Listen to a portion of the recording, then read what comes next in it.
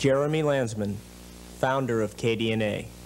The two feelings. The first time we're on the air is the, the feeling of the broadcaster, because all of a sudden we can impinge our ideas on, on the St. Louis radio dial. And uh, we turn on the transmitter for the first time. The first few times I went on, I played some Indian music, and I had an old transmitter up the Continental Building running at one hundredth or a thousandth its power, and an antenna made up of a piece of wire hanging out the window. I played some Indian music. Well, that's the first time, I think, Indian music ever appeared on the St. Louis radio dial. So there I am broadcasting. That's my idea. You know, heavy vibes and all. and, uh, and I don't think anyone noticed. so, so, so very slowly we, we got the station on the airplane. weird things, and people noticed it as being a weird station first.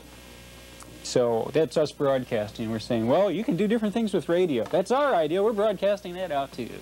We can do weird things with radio. Play Indian music, play modern, contemporary, classical music that has, uh, uh, like, uh, uh, people playing with the guitar uh, or the uh, piano strings, you know, right in the piano and stuff.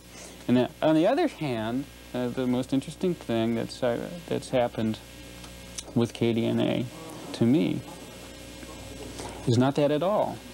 The most interesting thing that we've done at KDNA that I have not heard elsewhere are the very rare occurrences where we get four people of, of opposing viewpoints, strongly emotional sometimes, calling in on the phone and talking to each other, sometimes for hours.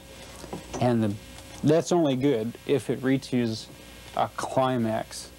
And after that climax, people understand each other and feel some sort of warmth for each other.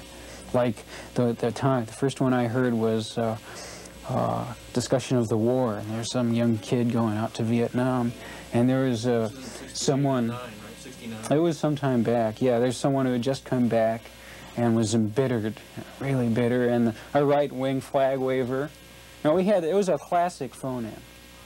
And I don't, I've never heard that on any other station. That's, that's the opposite of broadcasting. And these people really listened to each other. And three of them came down to the station afterwards and brought some hamburgers and things and sat around and talked. Three of the four. That was nice.